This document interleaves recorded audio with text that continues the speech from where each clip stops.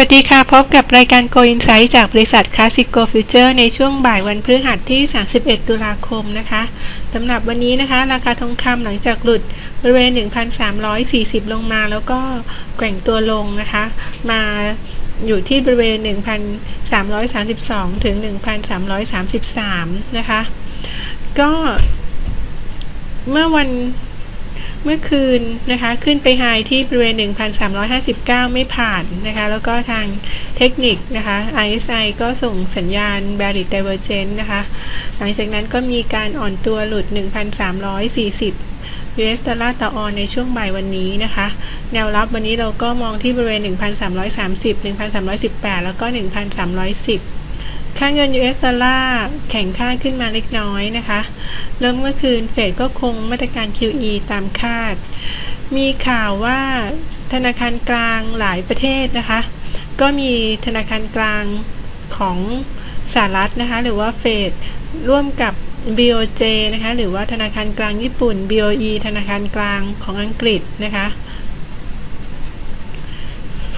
แล้วก็มี ECB ก็คือธนาคารกลางยุโรปนะคะรวมถึงธนาคารกลางแคนาดา แล้วก็ของสวิสเนี่ยได้ทำข้อตกลงกันในเรื่องของการสวอปเงินอย่างถาวรนะคะเพื่อเป็นแหล่งสนับสนุนทางการเงิน ถ้าหากว่าเกิดภาวะเงินตึงตัวทั่วโลกส่วนตัวเลขเศรษฐกิจสหรัฐที่จะประกาศคืนนี้นะคะ ในช่วงทุ่มครึ่งก็จะมีจำนวนผู้ขอรับจากการการว่างงานรายสัปดาห์นะคะ แล้วก็สองทุ่ม45ดัชนี PMI ในเขตชิคาโกเดือนตุลาคมนะคะ ภาพกราฟราคาทองคำใน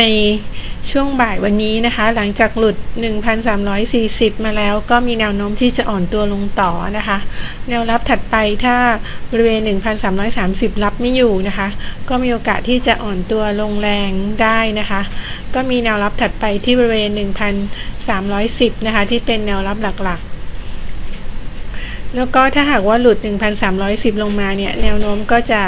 เป็น bearish แล้วนะคะ ส่วนถ้าหากว่าสามารถยืนเหนือ 1,330 ได้เนี่ย ราคาก็มีโอกาสที่จะปรับตัวขึ้นต่อนะคะ การพักตัวก็เป็นการพักเพียงในช่วงสั้นๆ เท่านั้นนะคะ แต่ถ้าหากว่าหลุดบริเวณ